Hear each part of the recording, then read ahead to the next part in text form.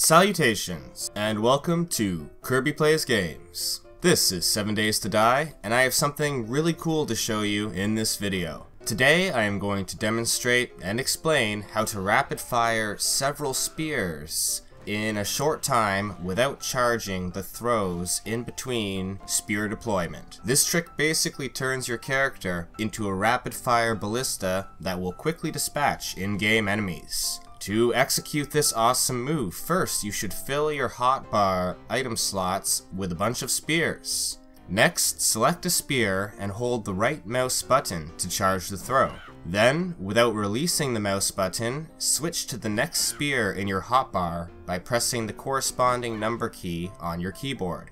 Once you have switched to a spear that is not charged, you can release the right mouse button and though your character will sound like they are throwing a spear, you will notice it stays in your hotbar and is not actually thrown.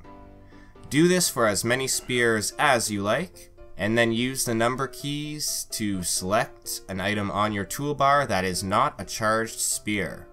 Now when you encounter an enemy, aim at them and switch to a charged spear and it will instantly launch itself at the point you are aiming. So to launch several spears quickly, all you have to do is select them one after the other on your hotbar.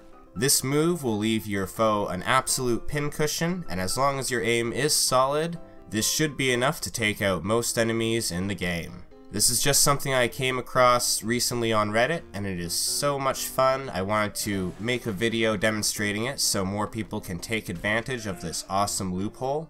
I am definitely considering specializing in spears in one of my playthroughs to play around with this a bit more. Hopefully you also enjoy checking it out and testing it before it gets patched out of the game. A couple questions before we end the video. First, did you know about this feature? If you did, did you use it often? And if you didn't, are you planning to use it now that you know? Second, do you think this is something that developers will patch out in future versions? And uh, as always, let me know your thoughts in the comments below. I hope you got some value from this video, and please consider liking and subscribing if you did. Happy spear hunting, and most importantly, have an excellent day.